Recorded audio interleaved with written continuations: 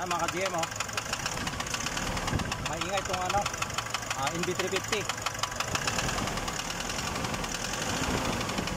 So, idadiagnose pa natin kung saan yung ingay nito. Yan, sa itong ah, Nissan NB350, bali ang kilometer pa lang niya is ah, 45,000 kilometer pa lang. Yung kanyang ah, natatakbo ngayon. Parang may hindi gumagana na ano, injector.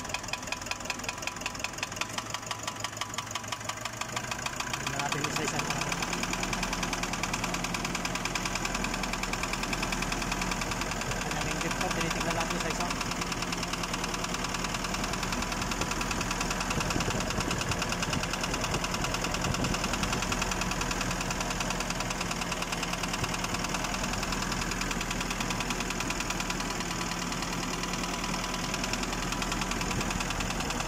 Itong number 2 mga ka-GM, parang ah, mahina yung ano niya.